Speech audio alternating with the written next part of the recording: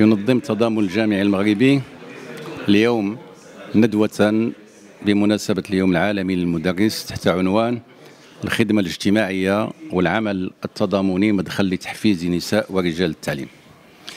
وهذه المناسبة تأتي في إطار الاحتفاء باليوم العالمي الذي كرسه التضامن الجامعي المغربي منذ سنة 2005 تكريما لأعضاء الهيئة التعليمية ولدورهم الريادي في آه، خدمة المدرسة العمومية وتقديم التضحيات في سبيل أداء رسالتهم النبيلة التي هي رسالة التربية والتعليم رسالة الرسل والأنبياء.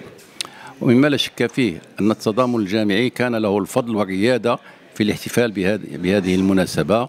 التي كرستها فيما بعد سنة 2011 وزارة التربية الوطنية.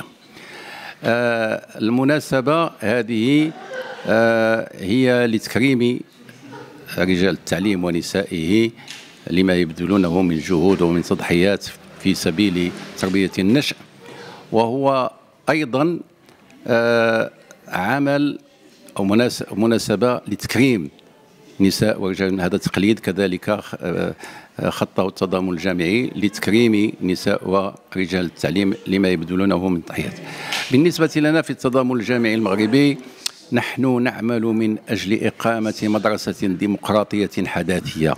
مدرسة تعيد الاعتبار لأعضاء الهيئة التعليمية تعيد الاعتبار للتعليم العمومي.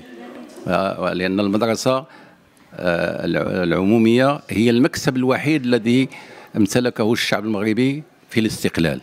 لقد تم توزيع توزيع الكعكة في إكس ليبان بين أطراف كثيرة ولم يستفد الشعب المغربي إلا من المدرسة العمومية والتي تمت محاربتها والتي هناك كثير من فنحن نعمل في التضامن الجامعي من أجل صيانة آه، المدرسة العمومية من أجل شرف المهنة وكرامة العاملين فيها.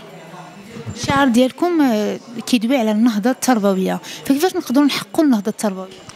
هو النهضة التربوية رهينة بإرادة سياسية حقيقية للإصلاح لأن هناك صراع بين قوة كثيرة تتجاذب التعليم.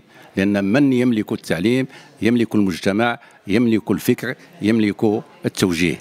ولذلك آه، أعتقد أن الظروف الدولية والتحولات العالمية تفرض على المغرب أن يعيد للمدرسة العمومية اعتبارها وأن يعيد للمدرسين والمدرسات قيمتهم وتقدير مكانتهم والدور الذي يقومون به.